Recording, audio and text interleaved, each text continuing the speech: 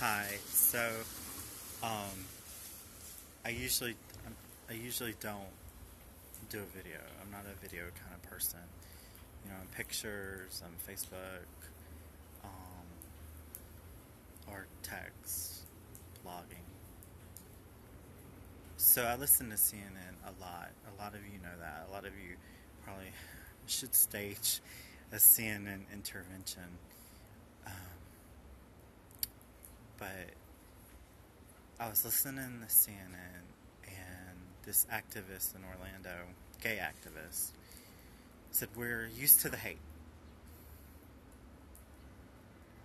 He said, We're used to the hate. And that hit me in such a way that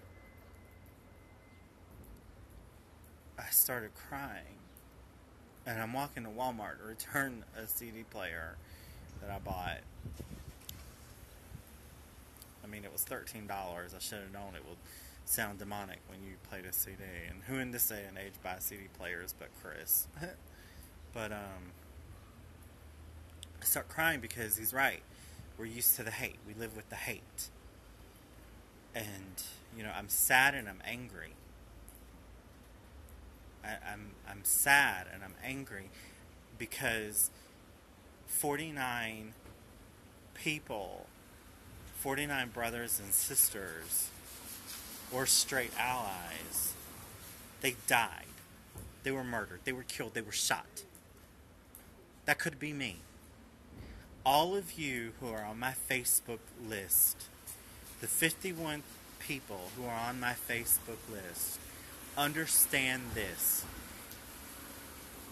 That could be me.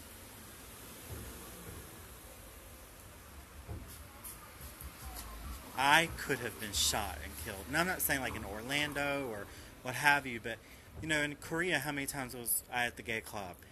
In Atlanta, I've only been to the gay club a couple of times, but Atlanta, as much as it's a safe haven, it's not that much of a safe haven. So when you see this, whether you believe what I do is right or wrong, and you just don't have the heart to tell me, understand this. I could have been killed.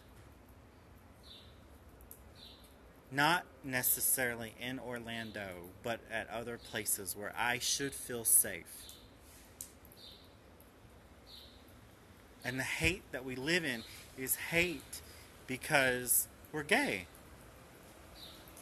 And I and please don't use that term homosexual because all it does is negate the love that we have for one another. I had someone and she is on this friends list. Look at me in my face and tell me because I had sex with men that I was a virgin. And that I could you know, and that basically she negated the love that I had for the men that I had been with. Not all the men I'd been with had I had sex that I had sex with that I was in love with. No, no. But for the ones that I was in love with, I was in love with.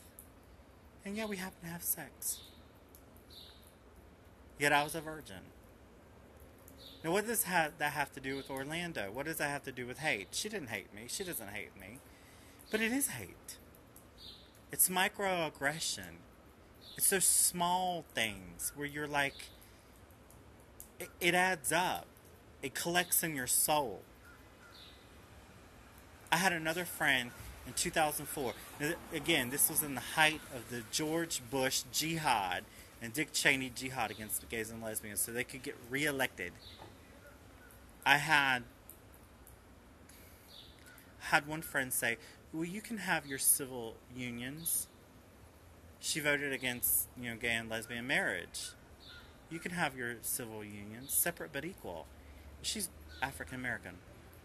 She said that. She caught herself and she realized how asinine what she said was.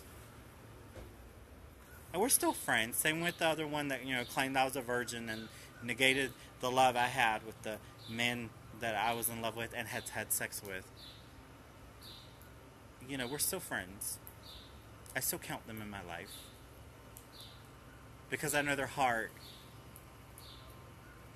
isn't like the man's heart who shot and killed 49 brothers and sisters. But I'm angry. I'm so angry. And now what? That's why I leave this. Now what?